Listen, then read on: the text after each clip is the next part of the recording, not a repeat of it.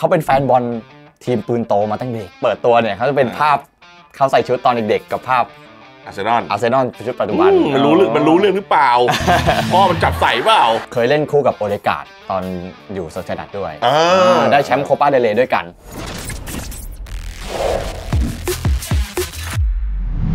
สวัสดีครับ สวัสดีครับคุณผู้ชมก็สวัสดีน้องซีด้วยผู้ใชัยครับผมสวัสดีครับหนุ่มหล่อเป็นยังไงขอต้อนรับเข้าสู่คมติดขอบครับผมติดขอบสัปดาห์นี้ครับ ก็ต้องบอกว่าพี่ชายจะเบอร์เบอร์นิดนึงครับนะฮะนอนน้อยบอลมันกลับมาเตะ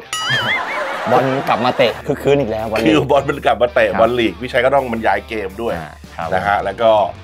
อไอ้ไม่บรรยายก็นอนไม่หลับก็ต้องดูบอลอืมมันก็เลยจะเบอร์เบอร์หน่อยมันจันทร์แบบนี้ ครับ นี่คืออาการของคนบ้าบอลบ้าบอลซีเป็นไหมเป็นครับ เป็นด้วย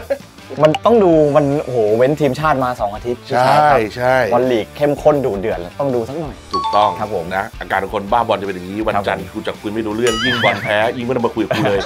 นะฮะก็อย่างที่คือเห็นกัน คืนวันอาทิตย์พี่ชัยได้ดูบอลไหมครับศึก วันวันอาทิตย์ดูครับศึกนอร์ทลอนดอนครับ ลอนดอน derby match ดูครับนะฮะผม วันเสาร์ไม่ดูครับไม่รู้ผลเลยครับผมไม่อะไรเช่นกันครับนอนเร็วครับวันเสาร์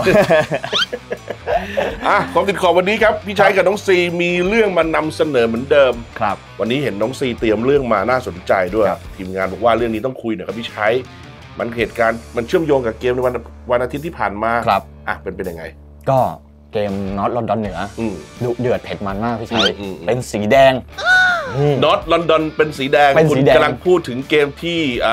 ท็อตแนมฮอตสเปอร์ stadium stadium ครับนะฮะสเปอร์เปิดบ้านเจออาร์เซนอล Arsenal สองคู่ปรับที่ต้องบอกว่าเจอกันไม่ได้อะใส่กันอันเนี้ยเกลียดกันจริงอาร์เซนอลสเปอร์เนี่ยเกลียดกันจริงโดยตรงโดยตรงโดยตรงอ่า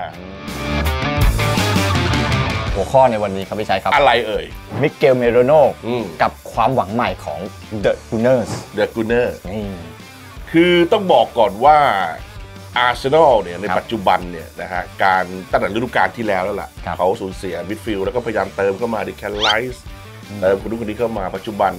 อย่างกรานิตชาก้าที่เสียไปครับแล้วก็ได้พยายามสรรหาตัวตายตัวแทนมาตลอดครับปัจจุบันเนี่ยเราเห็นมีดีแคลนไรซ์เนี่ยที่จะขึ้นไปเล่นในตำแหน่งของอ่า playmaker หรือว่าที่เขาเรียกว่ากองกลางหมายเลข 10 บ้างหมายเลข 8 บ้างครับแต่จริงๆแล้วถ้าภาระหน้าที่หลักของดีแคลนไรซ์จริงๆครับมันควรจะเป็น midfield ตัวรับตัว holding ตัวอาคอยปัดกวาดหน้า center หรือว่าเขาเรียกเขาเรียกกันว่านักเตะ midfield หมายเลขหกอะไรหมายระเลมาณขหเนี้ยครับผมนะซึ่งครับตอนเนี้ยน้องซีหยิบมาชวนคุยกันเนี่ยคุณผู้ชมกับแฟนอาร์เซนอลเนี่ยเขาบอกว่าอาร์เซนอลได้ตัวนี้มาเนี่ยมันจะเป็นการทดแทนชาก้าได้ดีครับมิเกลเมริโน ครับฟอร์มดีกับอืมทีมชาติสเปนคว้าแชมป์ยูโรฤดูกาลเพิ่งจะดี รายการเดียวเองครับเออเป็นนักเตะที่เอ่อมิเกลอาร์เตต้านี่เล็งมานานแล้วอ่าเป็นคนบ้านเดียวกันด้วย จริงเหรอ ใช่อ๋อเหรอชาวสเปนอ่าอ่าใช่เป็นคนสเปนเหมือนกันอ่แต่ว่าคนสเปนเหมือนกันเป็นคนบ้านเดียวกันอ่าพี่นึกว่าเกิดตำบลเดียวกัมามาประเทศประเทศเดียวปกัระเทศเดียวกัน ภาษาการสื่อสารก็อาจจะง่ายอ่าขึ้นนะฮะครับซึ่งซึ่งในส่วนของตรงเนี้ยครับก็ยังไม่ได้ใช้งานนะก็ยังไม่ใช้งานยัง เจ็บอยู่ครับผมอาร์เซนอลลงเล่นในสภาพที่ต้องถือว่า North London Derby เนี่ยครับตัวขาดเยอะเดแคลน ไรซ์แบนมาร์ตินโอเดการ์ดเจ็บนะฮะ มีตัวที่ไม่ได้ลง โอ้โหแบบเยอะแยะครับแต่ก็ยังอุตส่าห์เอาชนะสเปอร์ได้อืนะมก็คิดเอาแล้วกันสุดยอดสุดยอดอืครับมนะฮะ ก็ถือว่าทำได้ดีนะครับ ทีนี้ถามว่าเป็นตัวความหวังใหม่ไหมสำหรับพี่ชัยมองเมริโน่เอาตรงๆนะไม่ค่อยได้ดู สมัยที่เล่นอยู่ในโซเซียดัดหรือว่าที่ออกไปค้าแข้งอยู่ ต่างแดนก็ไม่ค่อยรู้จักนะ อืมไม่ครับค่อยได้เห็นเท่าไหร่ ก็มีความคุ้นเคยกับพรีเมียร์ลีกหนึ่ง season ได้ยังไง อ่าย้ายมายืมตัวกับนิวคาสเซิลอ่า อ่าแล้วก็เซ็นขาดหนึ่งก็ปี น่าจะยุคเบนิเตสยุคราฟาเอลเบนิเตซอืมใช่ครับครับ ยุคเบนิเตซนะแล้วก็เขาเป็นแฟนบอลทีมปืนโตมาตั้งเด็ก อ๋ออ่าเป็นแฟนปืนขึ้นใหญ่จารูปเปิดตัวเนี่ยเขาจะเป็นภาพเขาใส่ชุดตอนเด็กๆกับภาพ อาร์เซนอลอาร์เซนอลชุดปัจจุบันอืมมันรู้เรื่องมันรู้เรื่องหรือเปล่า พ่อมันจับใส่เปล่า เออพวกคนสเปนมันไม่น่าเป็นแฟนอาร์เซนอลมั้งอ่าครับผมอืเราเล่นนะภาพเราเปิดเล่นตัวเท่มากภาพเปิดตัวเท่อ่ามากเพราะฉะนั้นเนี่ยสิ่งที่แฟนอาร์เซนอลแฟนปืนโตคาดหวังกับมิเกลเมริโน่พี่ชัยครับว่าต้องรอเวลาครับต้องพิสูจน์หน่อยเพราะว่าโดยสไตล์การเล่นเนี่ยมันอาจจะเอื้อนะ มันอาจจะเลือกให้นักเตะที่มีความสามารถมีอ่า ชั้นเชิงอย่างเมริโน่เนี่ยเล่นกับอาร์เซนอลได้ครับแต่คุณอย่าลืมที่จงซีบอกเคยล้มเหลว ไม่ไม่ใช่ล้มเหลว เคยมาเล่นในพรีเมียร์ลีกแล้วพรีเมียร์ลีกแล้วไม่ได้ล้มเหลวนะ แต่ด้วยความที่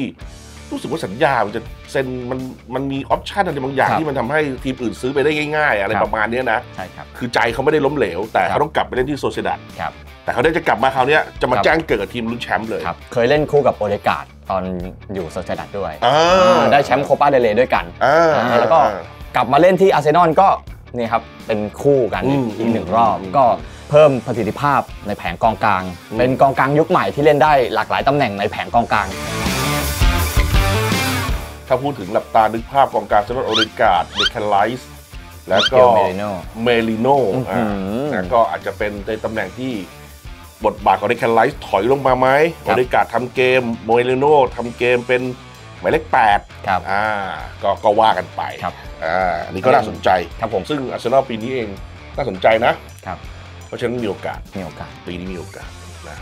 ประมาณนั้นอ่าและนี่คือทัศนะทั้งหมดของพี่ชัยครับผม วันนี้กรณีนี้ทีมปืนโตปืนโตไปได้ครับ ปีนี้รุ่นแชมป์ผมครับผมผมฟันธงได้เลยมีประสบการณ์แล้ว พบกันใหม่กับคมติดขอบอืมในครั้งหน้าได้เลยสำหรับวันนี้สวัสดีครับ สวัสดีครับ